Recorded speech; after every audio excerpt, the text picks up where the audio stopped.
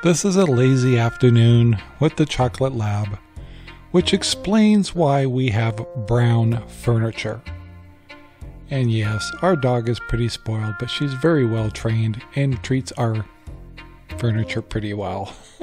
but she does like to snuggle on the couches with us. Very rare does she uh, lay on the floor too much. She does like to sit in couches. She uh, loves to go in the pool and then come into the house and then sit on the couch, and that's not too cool.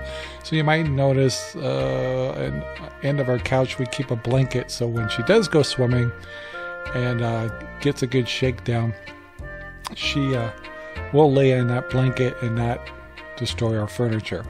But uh, all in all, she just likes to snooze and be with her people. Chocolate Labs like to be near their people. They're not huggy, they're not real oh, loving, uh, not cuddly kind of dogs. They just want to be near you, but they love to be pet. They love to have their ears scratched, and they're very kissy dogs. And uh, we just love our chocolate lab to death. So Cinder pretty much just kind of hangs out with us, watches TV. Uh, but uh, you know, we play a lot too. But these are just the lazy times. In fact, we're watching a movie together right now. We're watching Huskies.